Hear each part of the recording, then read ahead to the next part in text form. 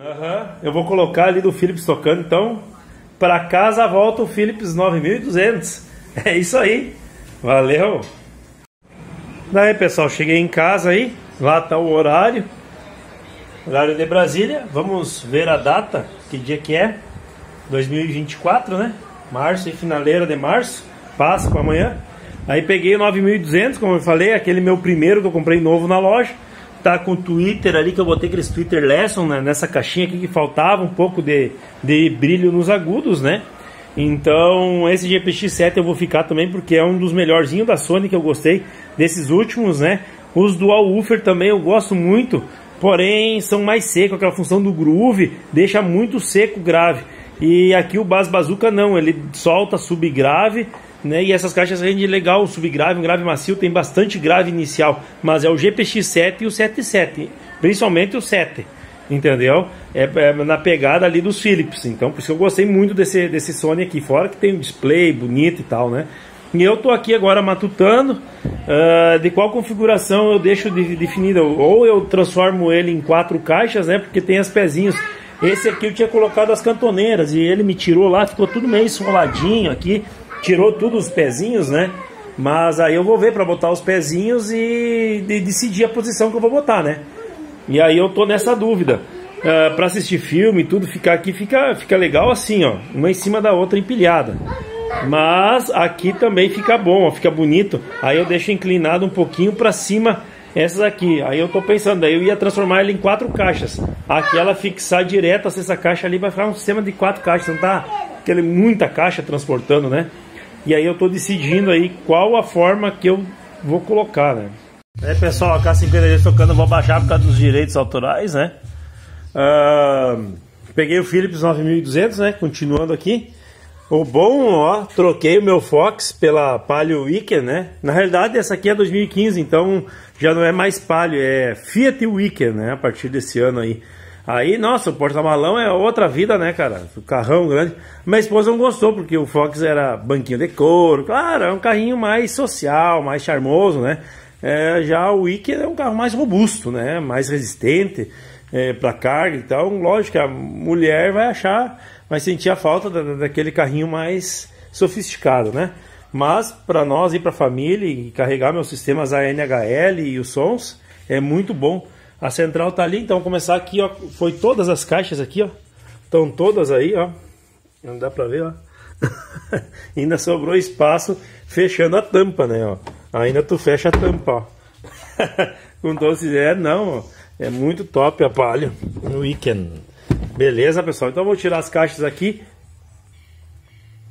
Então daí eu vou tirar as caixas. Eu tinha colocado a cantoneira, né? Não sei porque que ele tirou as cantoneiras. Eu achei bem massa aqui de proteção, né? E às vezes empilhar as caixas engatava, né?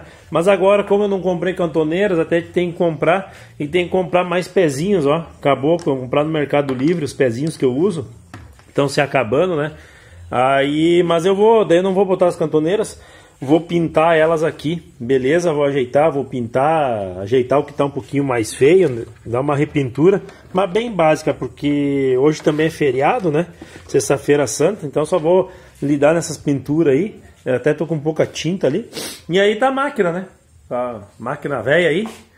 Ali tá a motinho também, né? Pra fazer as correrias aí. Corre, botei um baúzinho aí. Sempre cai, carrega as mochilas e alguma coisinha, vai lá pra chácara, né? Tem que estar tá carregando sacola na mão, botei um baú para isso aí. E, cara, é muito bom, nunca tinha usado baú. É, e é fácil aqui, tu quer, vai sair sem um baú, tu só tira aqui solta o baú fora, né? Beleza? Baixar mais uma vez, né? Para os direitos autorais.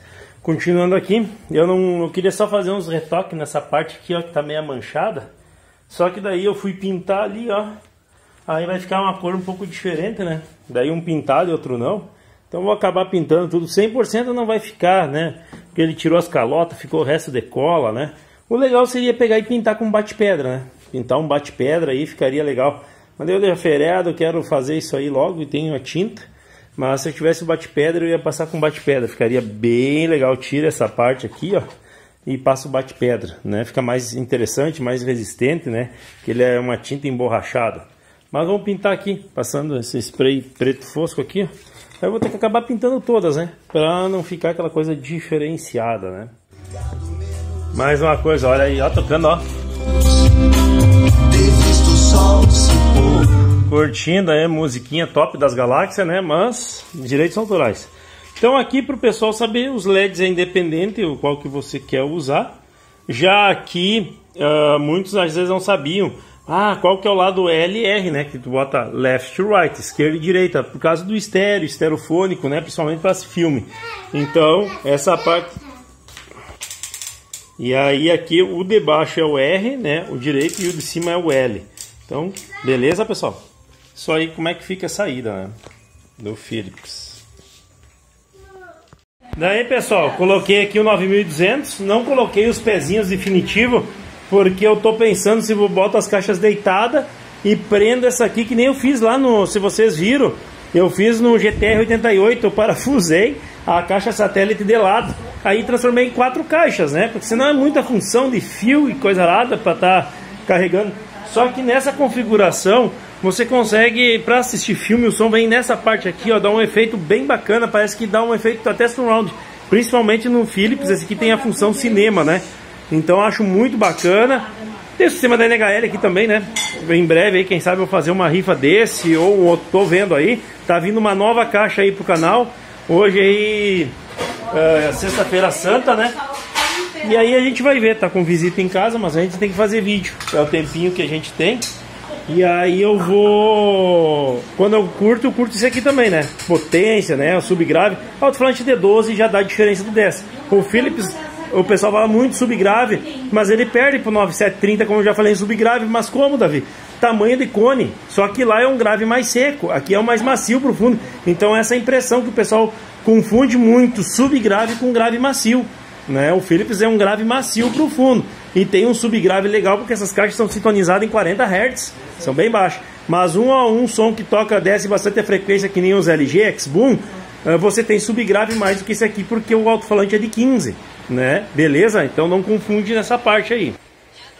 Aqui no quarto guardei o Max 250, até vinha a central dele, né? Tem um arrumando, tem que ir lá em Passo Fundo fazer uns vídeos. Lá vai rolar uns vídeos bacana, fiquem atentos aí no canal. Show, né? Espero para ver a quantidade de aparelho que eu vou fazer vídeo lá de uma coleção de um amigo lá. E aqui tá o GPX7. Gostei demais, grave profundo, bem gostoso de ouvir. Cara, um dos melhores que eu gostei da Sony. Provavelmente eu não vá vender esse aqui. Esse eu vou assegurar para mim, porque é um som que tem LED nas caixas, tem um grave macio, tem a litragem boa, esse GPX7 aqui, né?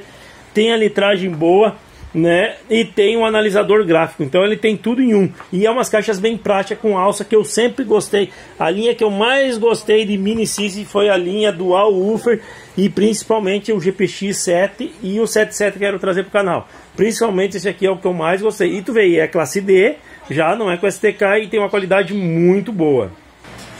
Então vamos ligar aqui, lembrando que para os haters, para aquele pessoalzinho, aqueles aqueles que me atacavam lá por meados de 2015, 2016, principalmente do Philips, que Philips não presta, que não tem durabilidade, que esses aparelhos novos não têm durabilidade. Daí eu dizia, como é que tu vai saber que um aparelho não tem durabilidade se o aparelho é lançamento é novo? Hoje esses Philips aqui já está com quase 10 anos, eu comprei em 2015, então já é um aparelho com 8 para 9 anos, então é um aparelho já que aparelho eletrônico hoje com 10 anos já é um aparelho velho, não é um aparelho em média 5 a 10 anos de durabilidade e nunca foi mexido. Então tá aí, ó.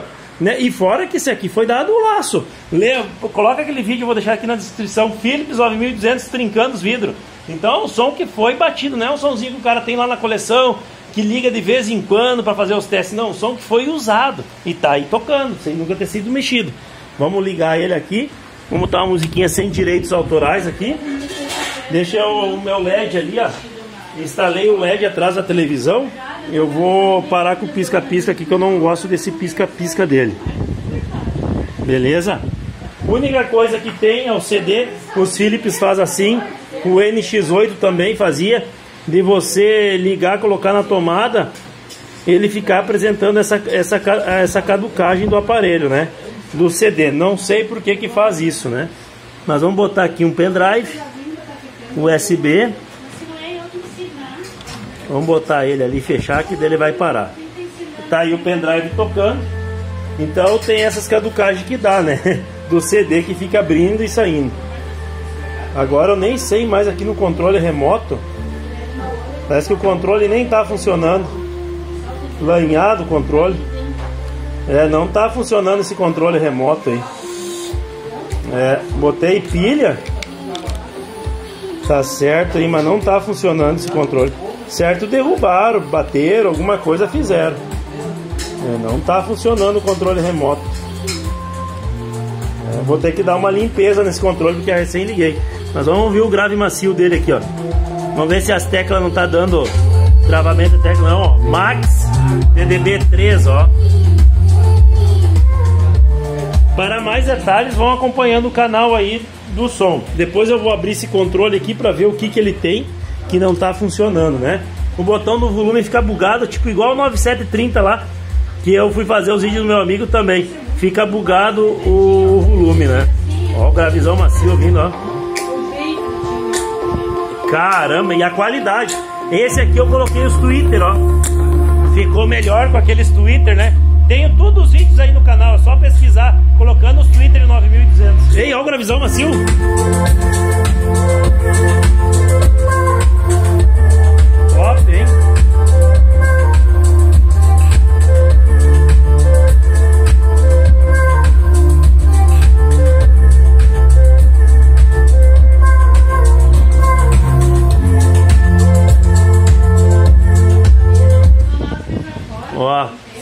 Isso aí, qualquer aparelho de minicisse é isso. Sony, LG, Philips, dá travamento de tecla, toca outra função.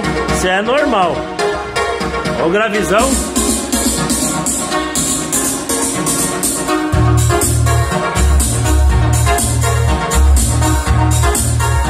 Lá você foi o LED. Aqui quase se apagou.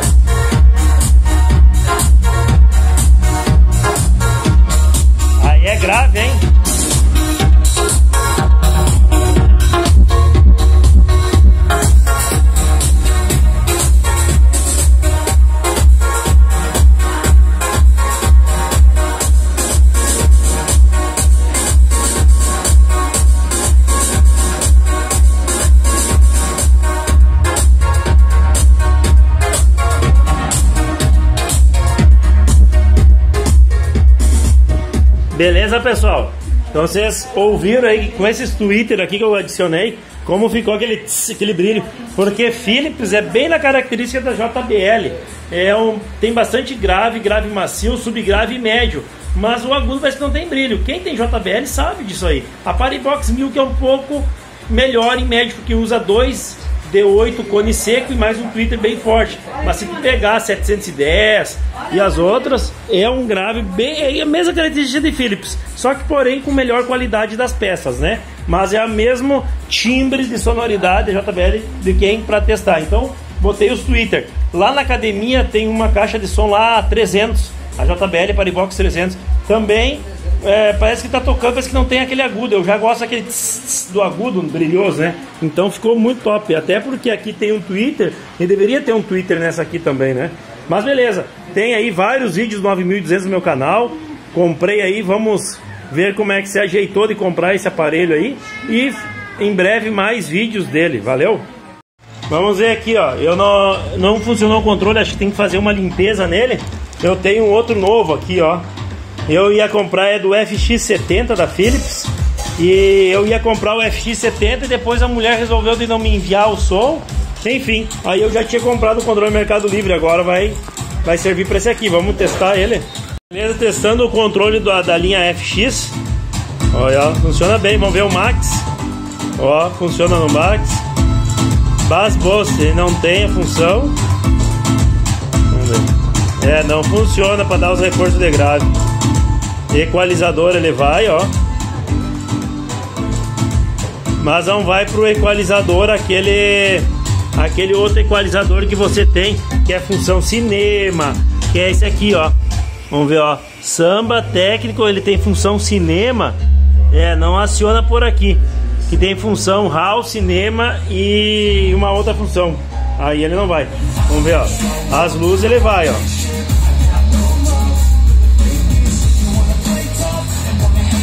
Só para função cinema ele não vai. Vamos ver aqui, ó.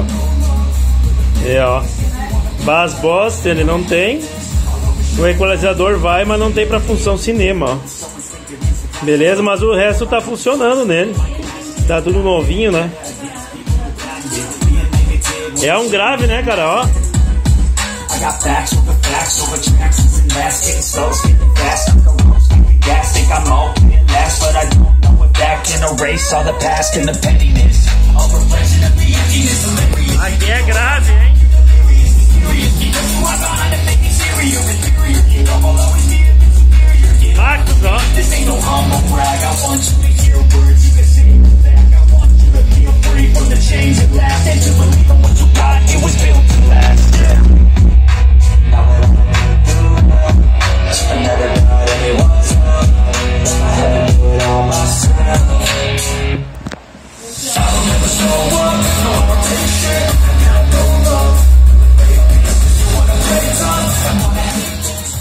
Será que tem pressão de graves, hein?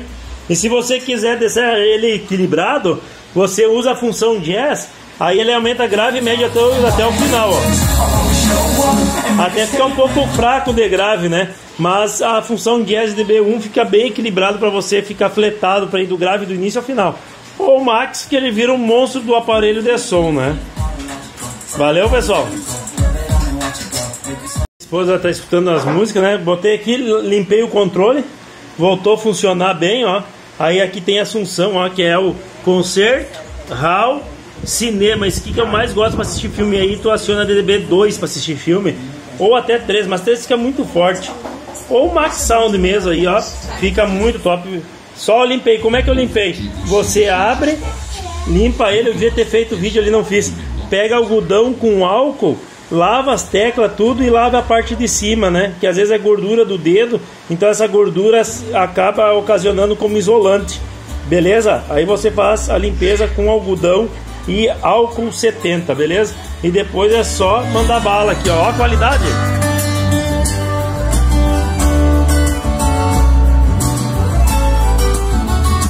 É Philips, né? É Philips. Eu botei o um mundo aí por causa dos direitos autorais, beleza? Valeu! E não se esqueça também, com a NHL Pro Sound aí você tem um alto e bom som com qualidade, durabilidade e eficiência com amplificador AB. Entra na descrição aí, Arlindo Davi Marzari Betker aí no meu Facebook. Lá você eu faço assessoria para você, passa o WhatsApp e você vai ter o meu link de afiliado para o desconto dos kits da NHL Pro Sound. Aí eu ajudo você a adquirir seu melhor kit e faço essa assessoria para você e ainda você leva mais um desconto do Davi Detroit com a NHL Pro Sound. Valeu!